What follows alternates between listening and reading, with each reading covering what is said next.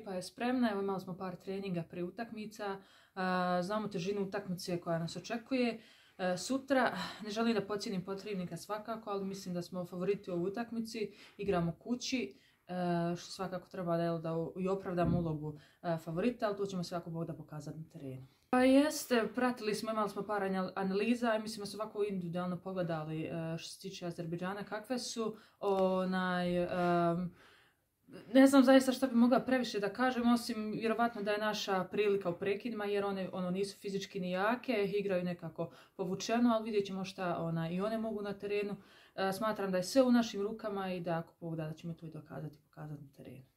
E, naravno da dođu da nas podrže jer e, njihova podrška je jako važna, pogotovo u ovim kvalifikacijama znamo da nas e, čekaju dvije jako važne utakmice, svakako sutra prvi korak, ako Bog da poslije, tako da podrška navijača nam puno zaista znači.